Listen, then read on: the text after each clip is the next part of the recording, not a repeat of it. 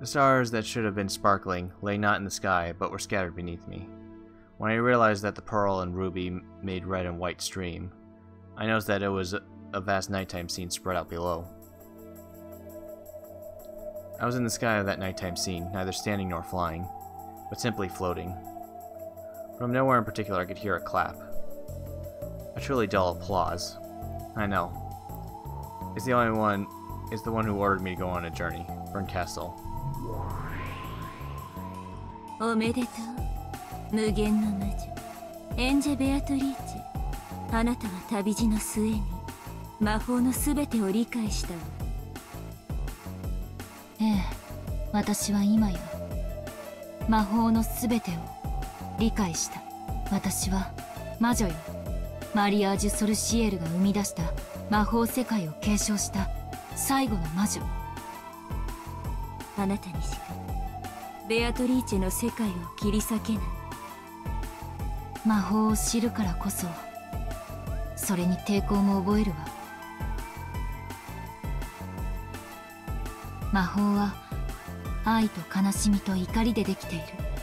ベアトリーチェがどんなに残酷な魔女であったとしてもその魔法の源泉は全く同じ。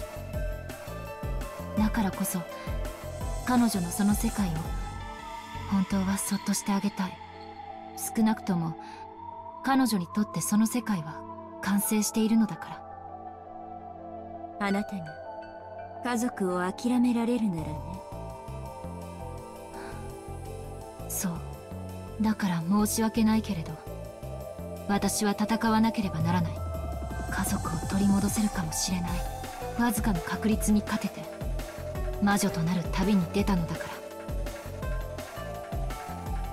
ベアトリーチェを殺さない限りあなたには孤独な世界しか存在しない。それは100億のかけらを旅した私が保証する。分かってるわ。同情してる余地なんて心を鬼にして彼女の心を切り裂かなくてはならない。その気持ちが揺るぎないならよかった。わ同じ魔女同士情が移って志をくじくんじゃないかと心配した It felt a bit hollow hearing that from a person whose face was almost always expressionless. Burn Castle, the mysterious witch who invited me on this journey. 私、あなたが嘘をついてたんじゃないかと疑ってたことがあった。どうして私は1998年のエンジェだから、家族を救っても、それは1986年のエンジェが救われるだけ。この私が救われるわけじゃない。だから騙されていると思っていたことがあるの。その通り。私はあなたを騙した。わでも今は感謝してる。だってあなたは私に家族の取り戻し方を結局は教えてくれたもの私は何も教えてないわ。それを知ったのだとしたらそれはあなたが魔女として自ら至った境地だわ。それは私のそれとは違う境地。私に理解はできないけれど。もしもそうならばおめでとう。私はこのゲームのプレイヤーではなく駒だと。あなたは私に言ったわよね。ええ言ったわ。その役割を今こそ完全に理解した。駒に感情はいらない。ただ勝利のために最善を尽くせばいい。ええその通りよ。ゲームは最善手を差し合うものでしょう。躊躇や戸惑いで指し手をおかしくしてたら対戦相手も混乱するわ。Sorry, Beatrice, but don't hate me. Ushumira Angie still needs her family. So I have a, the right to fight you, so I can take them back. And you have the responsibility to be challenged by me to a fight. So don't hate me. In exchange, if you do win this game, I'll give you my blessing as well. Come on, let's go. As a piece I am, it's finally time for my true turn. Sorry, Beatrice, I won't hand Onichan over to you. The world whitened. It wasn't white. It was a gold color as bright as it could be. There was the beautiful Ushirimiya family rose garden. However, the flowers on the roses were all gold. The nectar was also gold colored. The butterflies gathered there were gold as well. This is the Golden Land. The promised land of the witches of Mariage Saucier had finally been guided to. There, all wishes were granted, and all magic and dreams were born.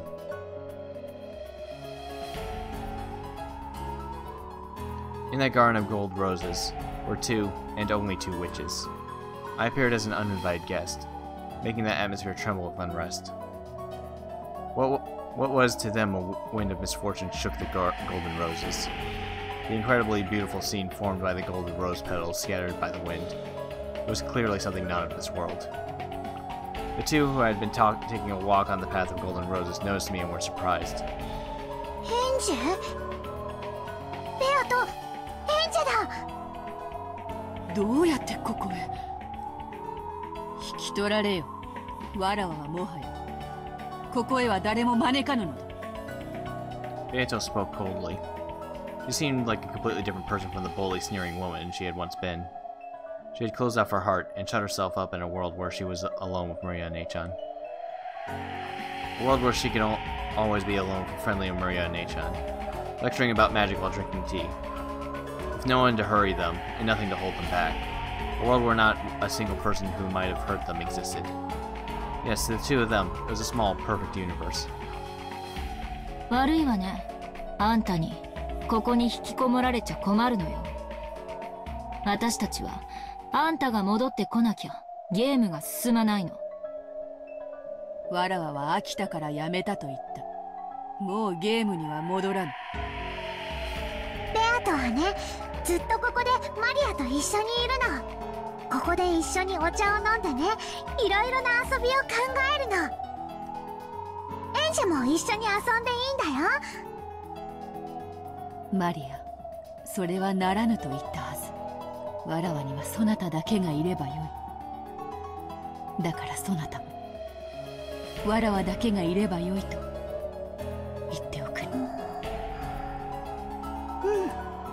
ありがとマリアをそこまで必要としてくれる人はベアトだけだよならベアトと一緒にいる二人きりでいいマリアすまぬありがとう Beato held Maria tight, even creating a small, warm universe between their joined arms. It was probably the birth of the smallest universe in the world.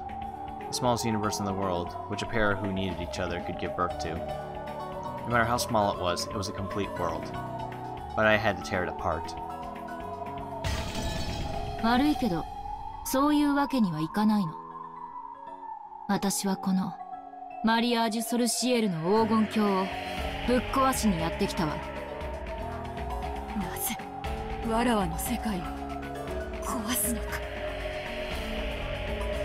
この世界がわらわとマリア以外の誰に迷惑をかけたというのか。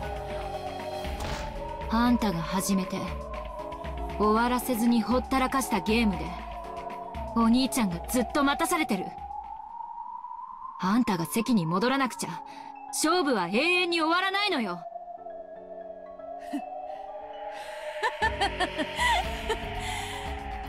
あのゲームにプレイヤーは一人もおらぬわ。バトラは消え去りわらわもまた消え去りここにいる。あのゲームはもはや終わったのだ。終わってない。あんたの始めたゲームでしょ。最後まできっちり責任を持って終わらせなさい。バトラを打ち負かしあなたが本当に望んだ世界を生み出すか。あなたが打ち負かされあなたの魔法に飲み込まれた全てを解放するか。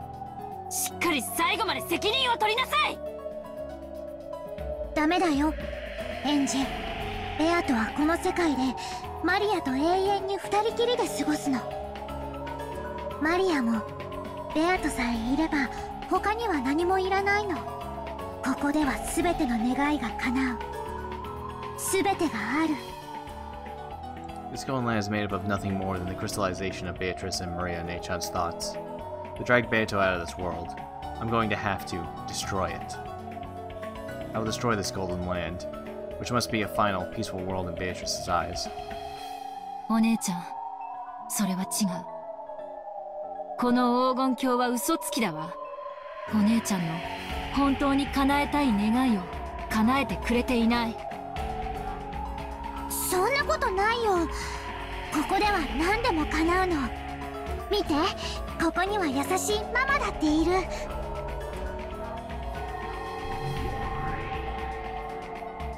Gold butterflies gathered behind Maria, forming to a kindly smiling Aunt Rosa. After smiling sweet- sweetly at me, it became golden petals and crumbled.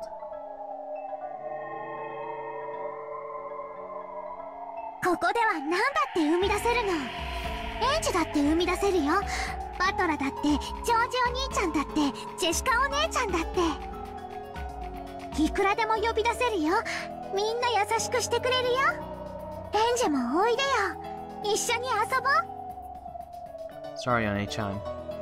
作太郎は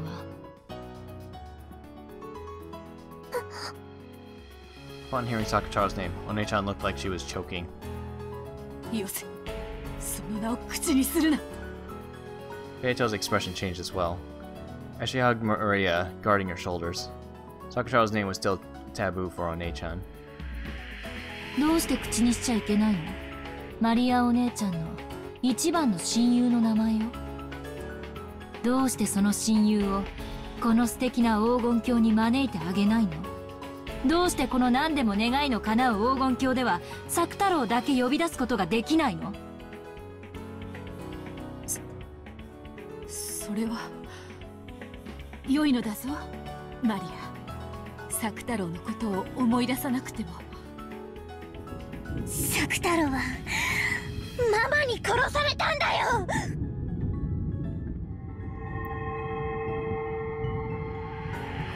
Maria Nechan flew into a rage with a terrible expression on her face. Surprised by that voice, the butterflies throughout the garden flew up, blowing around like a typhoon of flower petals. ええ知ってるわローザおばさんが大切な作太郎のぬいぐるみを引き裂いたわ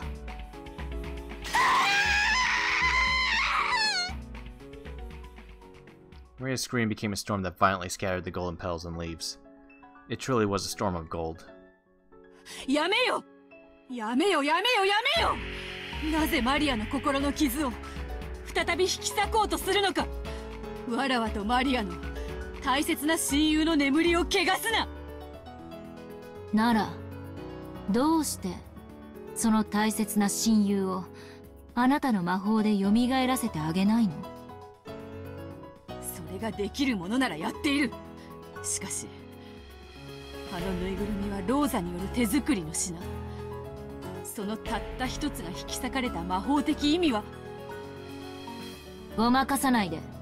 どうして作太郎が蘇らせられないか。答えは一つだわあなたが本当の魔女じゃないからよ。蘇らせられるとも。わらわの魔法でいくらでもこうして蘇らせられるとも。作太郎でこの庭園を埋めることだってできようぞ。ええ。できるでしょうね。あなたの魔法では。でもあなたの生み出した作太郎は決してお姉ちゃんには見えない。どうしてか分かってるでしょもう一度言うわ。あなたが本当の魔女でないからなのよ。やめて！どうしてエンジはそんなひどいことばかり言うの？レアとはたくさん魔法が使えるよ。とても素敵な魔女なんだよ。サクタロだけは蘇らせられなかったけど他のことなら何だってできるのだからサクタロだけは我慢できるのううん。お姉ちゃんそれは違うわ魔女にできないことなんてないのそれができない時点でベアトリーチェは本当の魔女じゃないわそれは違うよ。作太郎のよりしろのぬいぐるみはママの手作りの特別なものだから。だから蘇らせられないの？ベアトリーチェの。あなたの魔法はそんなにも不便なの？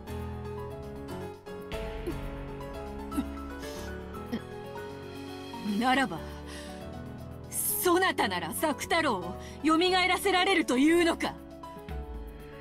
そなたの魔法ならばそれができるというのか？できるわ。なんだと？マリアお姉ちゃん私が本当の魔法を見せてあげるわ。私が作太郎を蘇らせてあげる。本当？ベアトリーチェもできなかったんだよ。本当に？ええできるわ。その代わり約束して。私が作太郎を蘇らせてあげたなら。うん。この黄金鏡から出て行きなさい。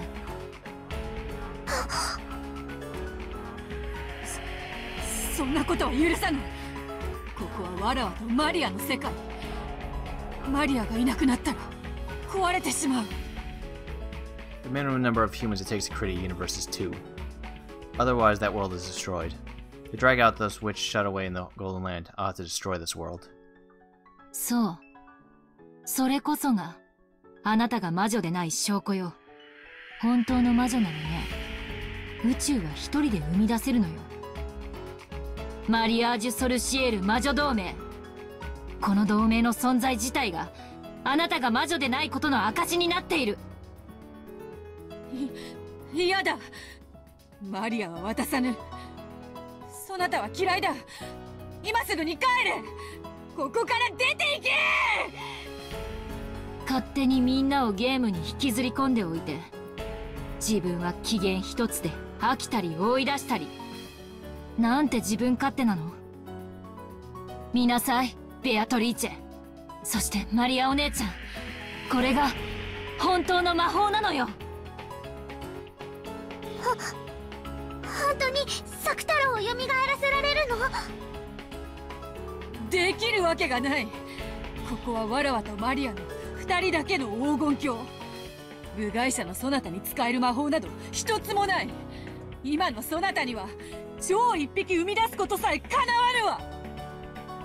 静かにしてベアトエン。ジェを邪魔しないで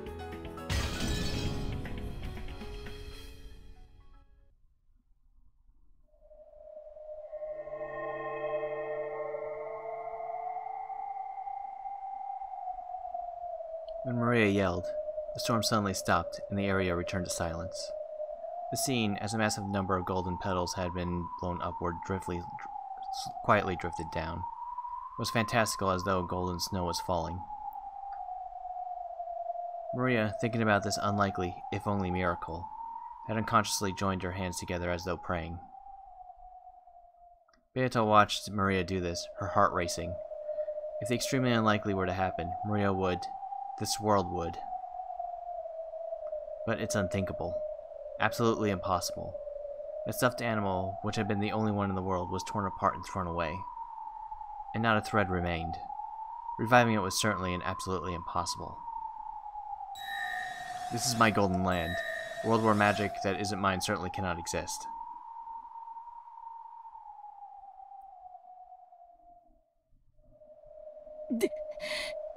でできるものならやってみろ後ろ宮エンジ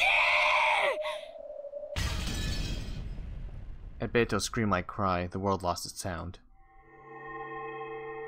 I slowly recited the incantation for true magic. さあさあ思い出してごらんなさいマリアの親友の作太郎あなたがどんな姿をしていたのか思い出してごらんなさい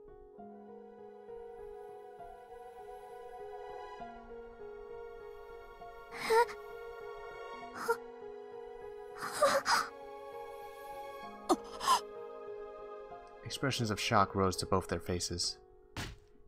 Then, pushing Beato's elbow aside, Maria dashed forward.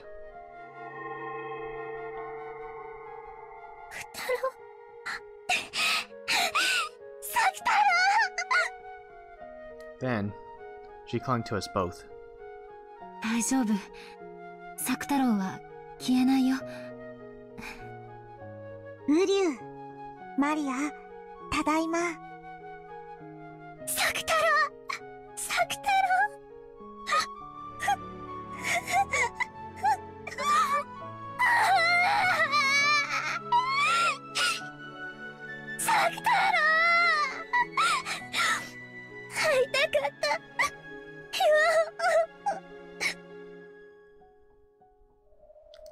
without a doubt that stuffed a- li- animal lion Sakutaro. Its softness, its texture, its stitches, its everything, Maria had forgotten. But, the instant she hugged that stuffed animal, it all came back to her vividly.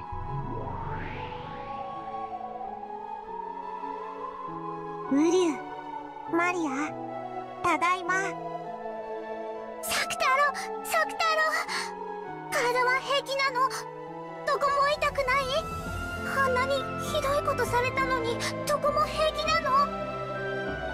ウリュウエンジェが魔法で蘇らせてくれたから全然平気なの。よかった。よかった。おかえりサク太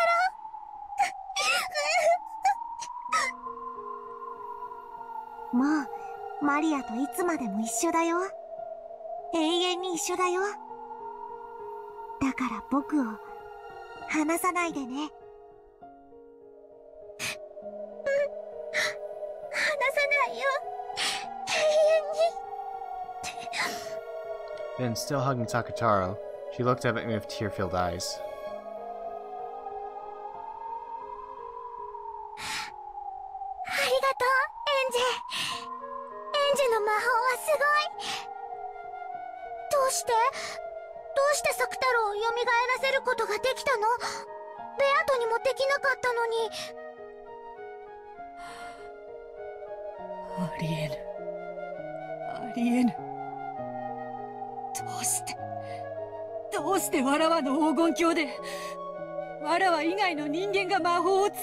かこんなことは断じてありえぬ。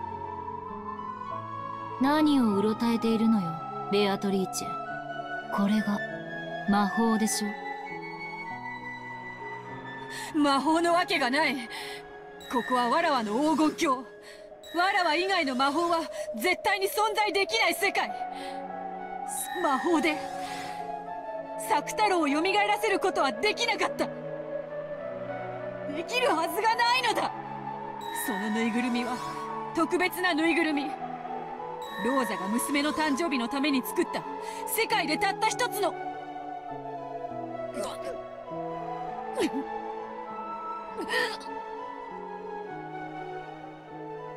ね？魔法でしょ？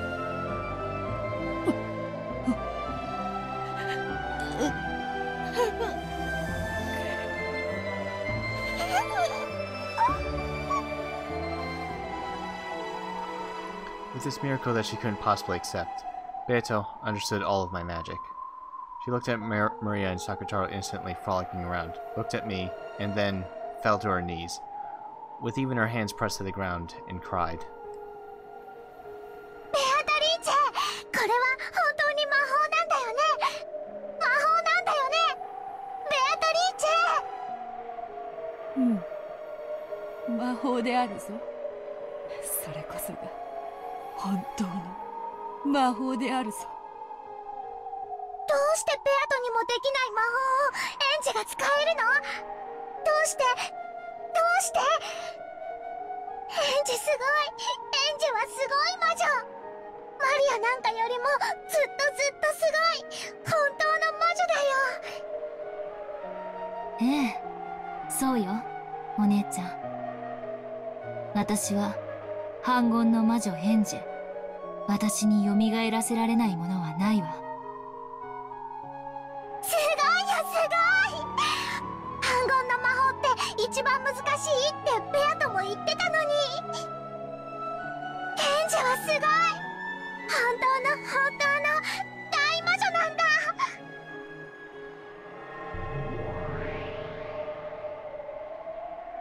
At that time, Maria and Sakatawa's forms flashed gold, and the forms of the two became golden flower petals that crumbled away. As the two became gol- a golden wind and swirled together, they left for some other peaceful place, not here. Beato had, as promised, banished Maria from the Golden Land.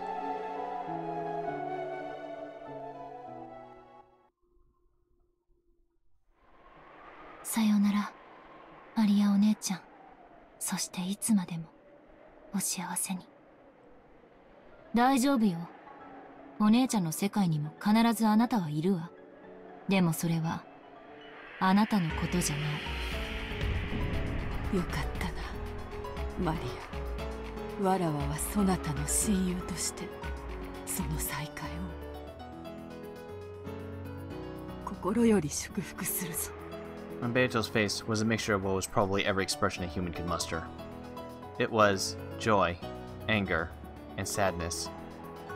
それが魔法の根源よね愛がなければ悲しみがなければ怒りがなければ魔法は見えない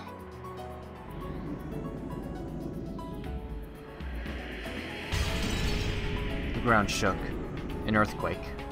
It gradually summoned greater and greater fissures, and began to tear Beatrice's final paradise apart. Golden butterflies fluttered about trying to escape, but there was nowhere to escape to. And Beatrice was the same. The golden land began to crumble away. The earth crumbled downwards like a floor falling through, and Beatrice was sucked into the depths of a jet black darkness. Then she was mercilessly slammed against the jet, jet black floor. It was dimly lit smoking room. There was no door or exit by, and while there was a window, it let in no light into Beatrice's shadowy smoking room.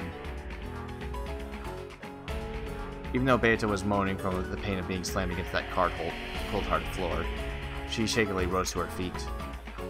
There was a seat there, and the game table, still just as it had been when she had left. The game board also remained in the same state Beato had left it in. そこがあなたの席よ座りなさいわらわに座るべき席はここしかない ということなのか。Beto put his hand on her own seat and laughed sadly. 勝つか負けるか。あなたに与えられるのはそれだけよ。それに行き着く過程での引き分けは許されるでしょう。でも中断して投げ出すことだけは許さない。勝って生き残るか負けて消え去るか。そのどちらかになるまであなたはその席を立つことなんて許されないそれが魔女のゲームのホストである黄金の魔女ベアトリーチェの唯一の務めでしょ Laughing weakly, Beato sat in that seat. Then she rested her elbows and covered her face with both hands, showing off a smile with nothing but her mouth. 勝てぬゲームを逃げることは許されぬかならばよかろうわらわが負けるまで繰り返そうではないか何よ気弱な。勝ちなさいよ。あなたの最善手を尽くしなさい。あなたが始めたゲーム。あなたには最善手を指す義務がある。いい加減に優柔不断にふざけるのはやめて。At that time, there was a violent sound. Beto felt a cold, pathetic sensation on her leg. 捕まえたやっと捕まえたわよペアとおい大ラムダデルタ教ではないまだおられたとはな Beto's foot was caught in an ice cold steel shackle, tying her to the chair she sat in. She would no longer be able to escape from the seat. もう逃げられないんだからね私こう見えてもしつこいの意外でしょ自覚がなかった方が意外であるあんたには中座も中断も許されてないのよ。永遠に戦うのよ。勝つためにね。負けたくはないでしょ？負けたらどんな素敵な世界に叩き落とされるか。ちょっぴりだけ覗いてみたい。大丈夫よ。勝てるわよ。この大ラムダデルタ教があんたが勝つまでつきっきりで永遠に面倒を見てあげるから。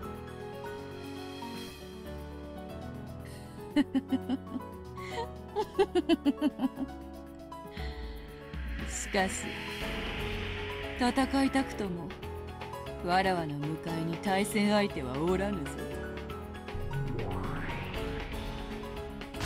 大丈夫よバトラーを見つけてきたわ When Birdcastle appeared and clapped her hands, Valor appeared from the sky and plopped into the opposite chair. Valor's eyes were slightly open, but there was no sparkle in them, almost like a doll's.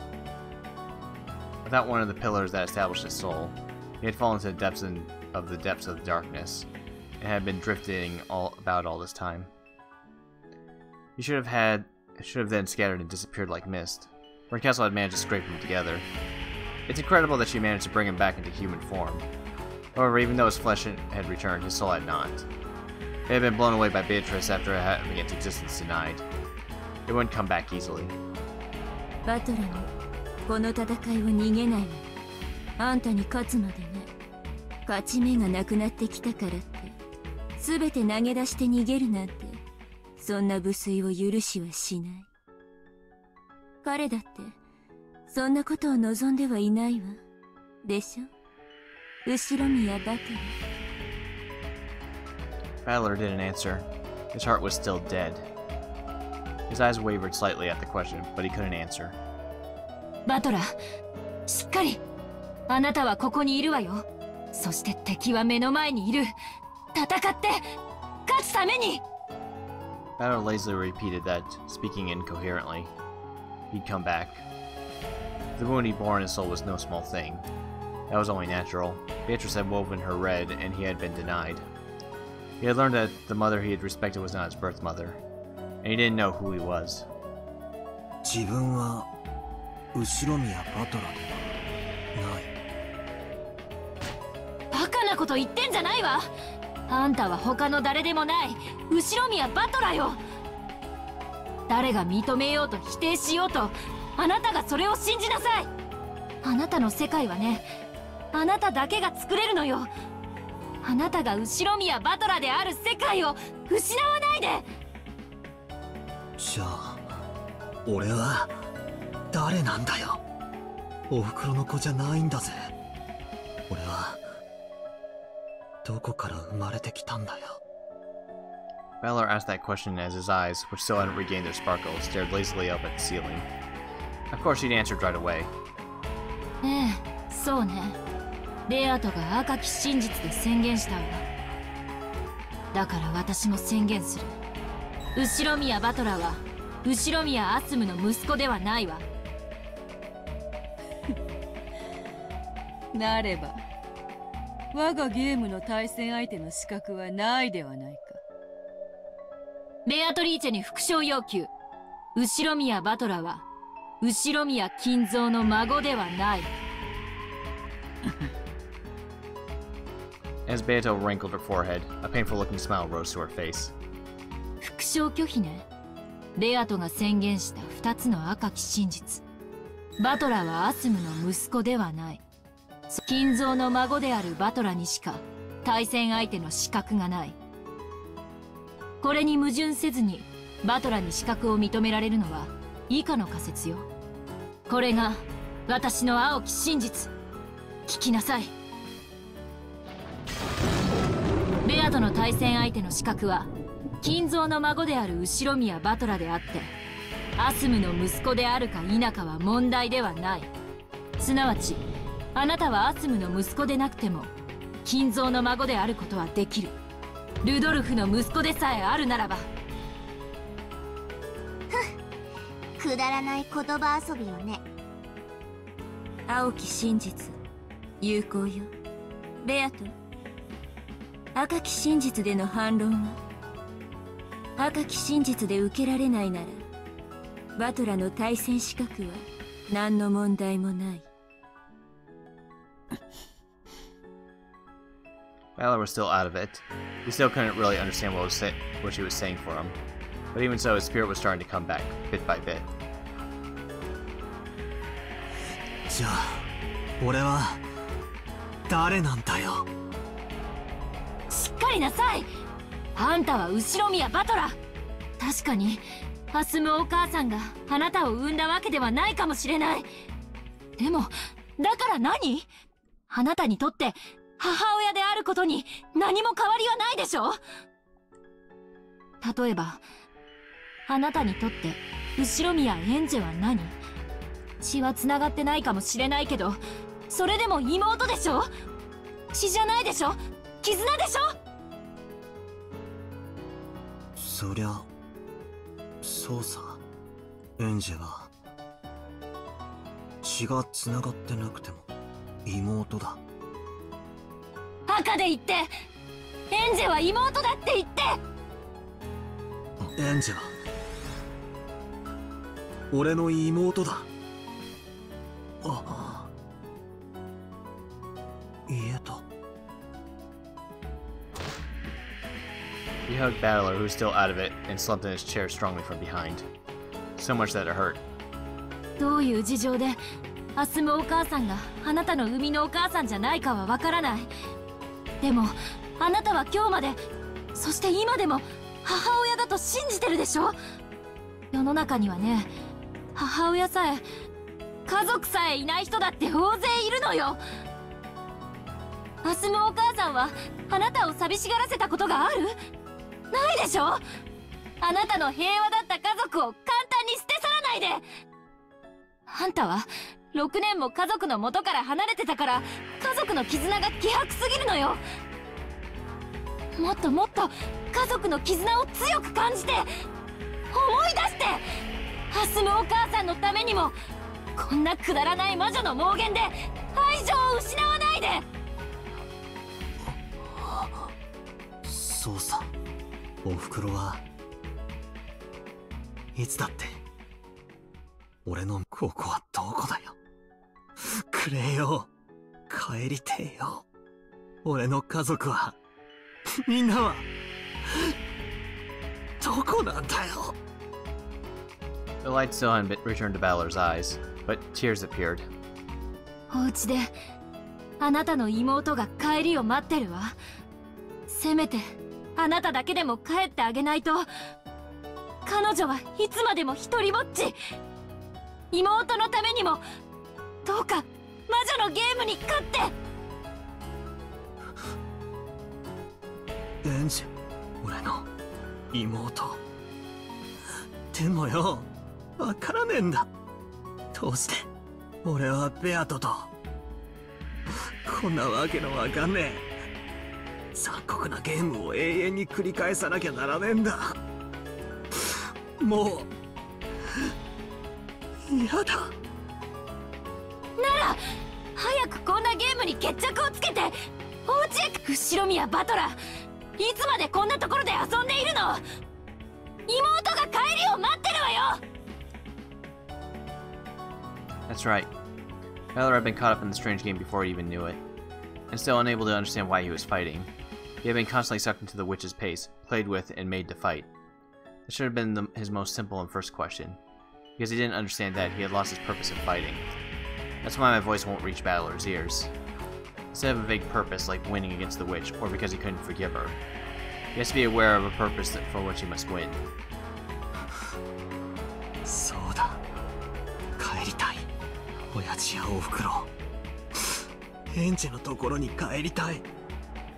もう嫌だ。ここは嫌だ。もう魔女は嫌だ。ゲームも殺人も嫌だ。嫌だ。嫌だ。バトラの魂が戻りかけてる。でもあとちょっとが届いていない。もう嫌でしょ。なら家族の元へ帰るためにも戦って。ベアトリーチェを打ち破って帰ってきて。嫌だ。もう魔女は嫌だ。ベアトも嫌だ。どいつもこいつも嫌だ。お前も嫌だ。お前だってどうせきっと魔女の仲間だ。いつまた裏切るかもわからない。何も信用できない。赤くない言葉は何も信用できない。俺に構うな構うな Valor's soul howled. She hugged his head from behind, strong enough that hurt. 早く帰ってきてお兄ちゃん私を一人ぼっちにしないでお前あ誰私よエ ンジェよ。お父さんもお母さんもお兄ちゃんも誰も帰ってこない。寂しいよ。お願いだから早く帰ってきて。エンジェお前エンジェだったのか。そうよ。エンジェよ。誰も帰ってこない世界の後ろ宮エンジェ私の家族は全てあの日の六軒島から帰ってこない。目の前のあの魔女が家族を全てお兄ちゃんさえも奪い取ってしまった。お兄ちゃんだけがあいつをやっつけられる。あいつをやっつけてそして家族を取り戻して。そして私のところに帰ってきて。テアトが俺の。家族。そうと。逃げも隠れもせぬ。わらわが後ろ宮エンジェから。家族を奪った。バトラはわらわの玩具。その父親も母親も。そなたには返さぬ。わ永遠に一人ぼっちで。帰らぬ家族の帰りを待ってさまよい続けるがいい From Angie's arms that held him, the painful, sad days that had been experienced by this lonely little sister flowed into Battler. Because he had been playing around in a place like this, his little sister had been left alone all by herself and had been forced to endure all that pain. エンジェエンジェくそ俺は 何をやってたんだありがとうなエンジェお兄ちゃんは大切なことをずっと忘れていた Mallow tried to turn around, but NJ was hanging onto his head with incredible force so he couldn't turn back. Was it sweat? Hot drops were splashing on the nape of Valor's neck. What were they? He knew from holding Enchi's arm that it clung to him. Because it stained Balor's hand, his fingers red. しえ エンジェ大丈夫かおおい He tripped and splashed. He didn't know what was going on. Valor didn't know because he couldn't turn around. But the hot drops that stained his entire back were surely blood. お兄ちゃんを助けるためにここに来るために唯一守らなきゃいけないルールがあったのそれがこれお兄ちゃんに私がエンジェだと知られてしまうこと。辛かったよ。お兄ちゃんが目の前にいるのに。それを口にできないなんて。このルールさえ守れば。ずっと永遠にお兄ちゃんのそばにいられるはずだった。兄ちゃんと一緒に魔女と戦うゲームを永遠に遊べるはずだった。でもそれじゃダメ。お兄。ちゃんは帰らなきゃ。お家であなたの妹が待っているものそれは私のことではないけれどそれであなたの妹は救われるエンジェエンジェこんなに違うこんなにこんなに He wanted to turn around, but NJ was gripping his head too tightly. However, judging by the blood that was pouring out of NJ's out in NJ's pain vi- breathing, he realized that something seriously wrong was happening to her right now. 気にしないで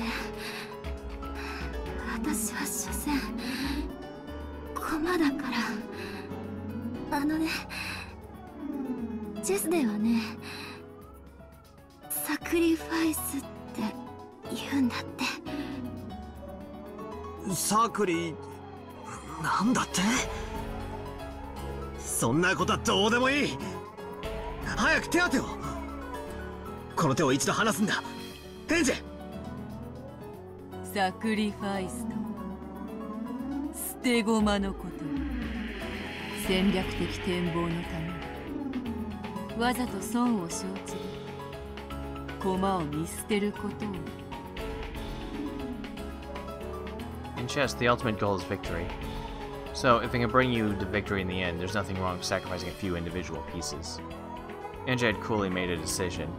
She had been taught over and over again that she was a piece, not a player. In order to act like a piece and save Battler, right now, she would have to become a sacrificial piece herself. Battler had to know. His purpose in his witch's game couldn't be something as abstract as finishing off the witch. He had to win the game, release himself, and bring his family back home. Why? Because he had a family, a little sister who was waiting for him to come home. A being was created so that Ushimiya Enji's voice could reach you. That's me, Enji Beatrice. I'll sacrifice the piece I am to give you the will to fight, to give you a purpose. My purpose isn't to play with you in a witch's game for all eternity. I came to bring you Ushimiya Enji's mourning and sadness. That is my unshakable purpose. エン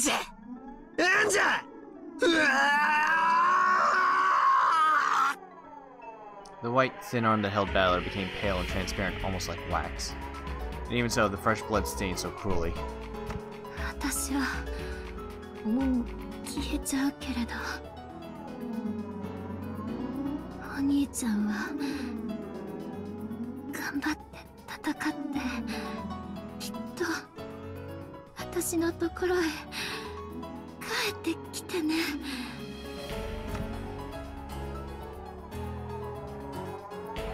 待ってるよ。ずっとお兄ちゃんをもっといっぱい手助けしてあげるつもりだったのに何もできなかった。ごめんね。いいんだ。お前は俺に教えてくれたじゃねえか。どうして俺が勝たなくちゃならないか。そして俺が絶対に勝ってお前のところに帰ってやらなくちゃって。俺は何をこんなところでぼんやりと遊んでいたんだ。ああもうこんなところで遊んでなんかいないぞ。帰るからな。帰るからな。お土産持って。きっと帰るからな。約束する。いらないから一つだけ約束して。なんだよ。何でも約束する。この手を今から離すね。痛かったでしょ。ギュッとしてて。ごめんね。私は大丈夫だから振り返らなくていいから。だから最後にお兄ちゃんの一番かっこいいところを見せて席を立って目の前の魔女を指さしてゲームの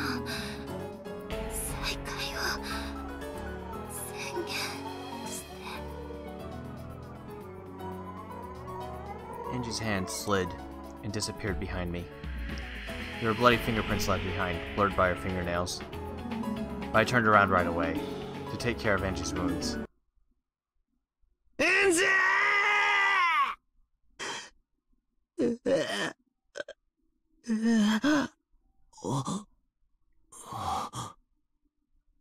Angie. Ah, 振り向いちゃダメって。約束したのにエンジあどどこへ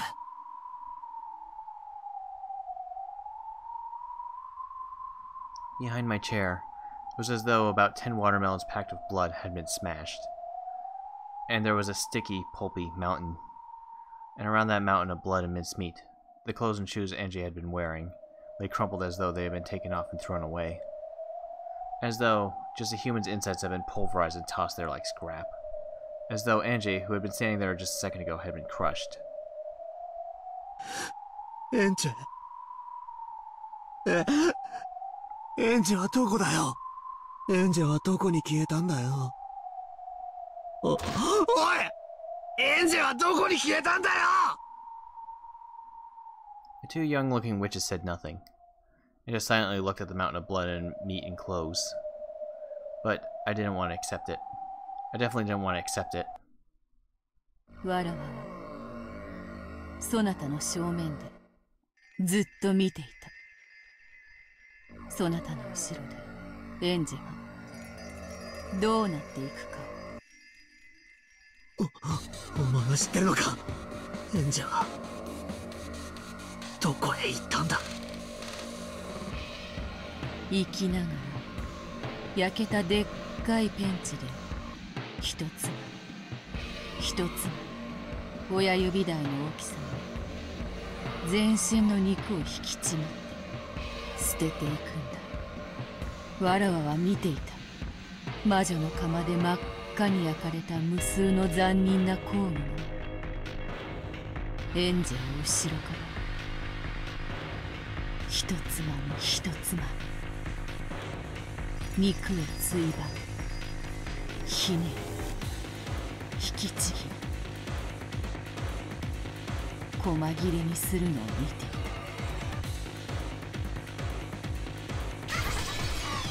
た。エンジェは誇っていい兄と最後の言葉を交わすためその苦痛の喘ぎを最後まで耐えたこと。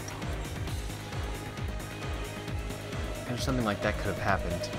But on top of that mountain of flesh and clothes, what had fallen there was without a doubt what she had been wearing on her head, those pink jeweled hair, hair ornaments. To be honest, I thought they were a bit too childish for her and didn't suit her, so I remembered them well.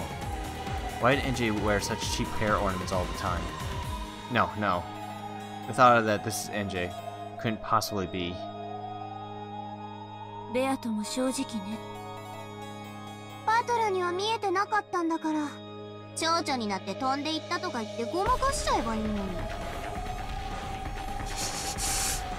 おお前らもそそれを見ていたのか？えエンジがバラバラに引きちぎられていくところを見ていたのかよ？見ててそんな平然とした顔を Without answering, Burncastle, Lambda Delta, and Beatrice stared at me. Some in pity, others in derision, watching me. Since she'd called herself Gretel, after what had happened with Regalia in the last game, I thought she might be Beatrice's underling. I'd been wary of her, not trusting her even though she was an ally.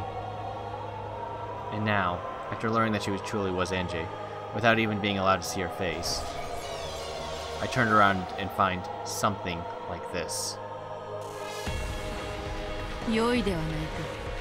妹のことなどだ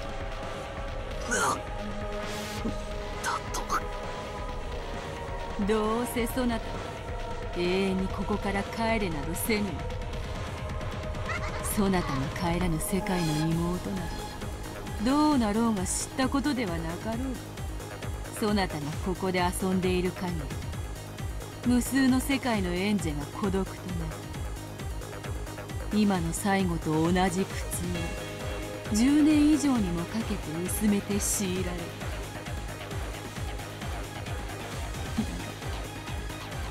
そんなことはどうでもいいことではない。ここにいるそなたには見えない観測できない。観測できない真実は。赤き真実を用いねば立証できないだからエンジェのその後の不幸はそなたの杞憂かもしれない案外ルドルフの遺産でのんびりと生涯働かずに暮らせてたりしてな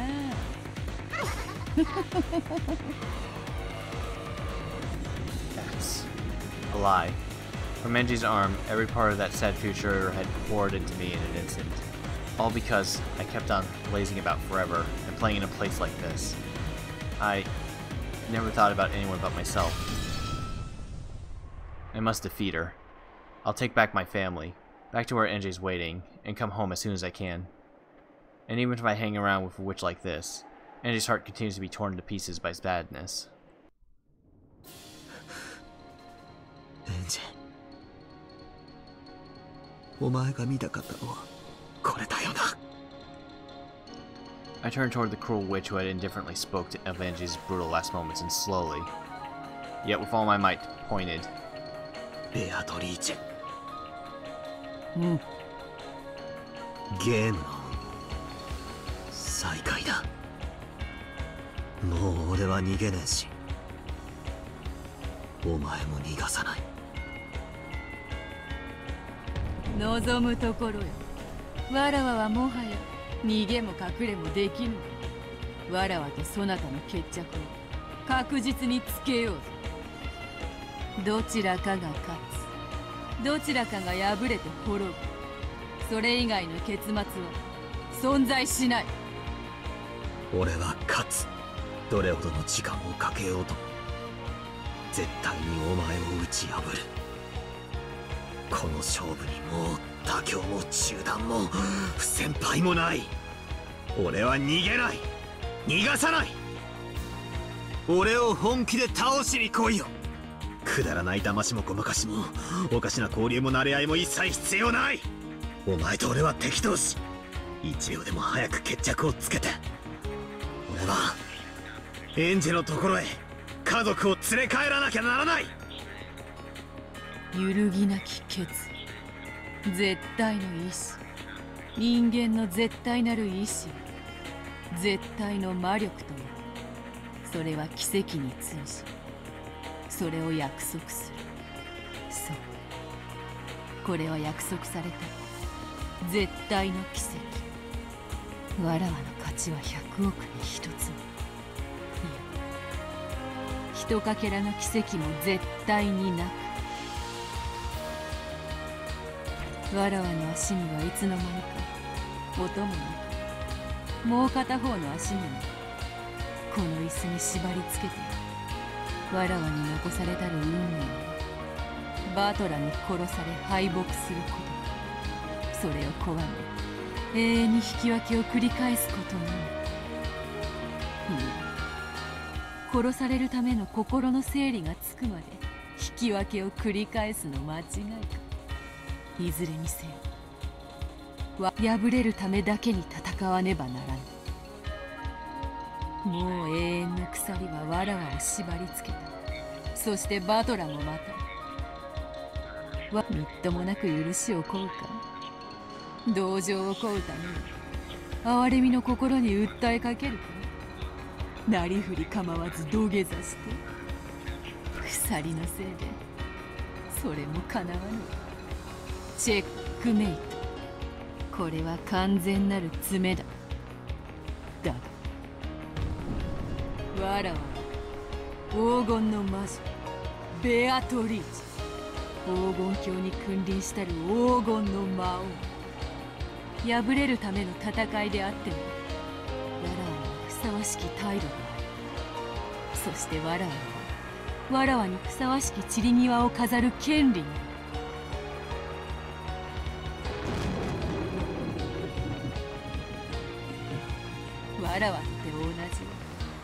なたに我が魔法を存在を認めさせてこの島に黄金鏡の扉を開く。そなたはその最初の茶会の主賓となるだろう。そなた以外は全員がすでに揃っているぞ主賓の到着が遅れているから。いつまでも茶会が開けない。そなたの父親も母親もいとこたちもみんなみんな。お前の到着を待ちくたびれているぞ。ああ上等だぜ。まったくにもって上等だ。何が魔法だ何が魔女だ。お前との遊びはこれまでだ。行くぞ。ベアトリーチェ存分に来るがよいぞ妥協も中断も不先輩もない。どちらかが勝ちどちらかが滅ぶお前に負ける意志がないというの。わらわを倒すしかない。しかしわらわもむざむざと殺されはしない。わらわにふさわしき最後をそなたが用意できるので抵抗を繰り返すことができる。そなたにそれができるかいいえ。できるだろう。必ずできるさ。来い殺し。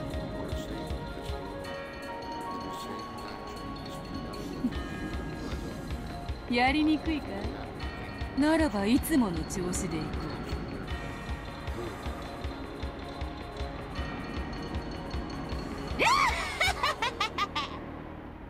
こう。殺されるかよ。せめて勝てなくても。お前に勝ちを譲らない程度の嫌がらせはできるんだぜ。ほう。いい面構えだ。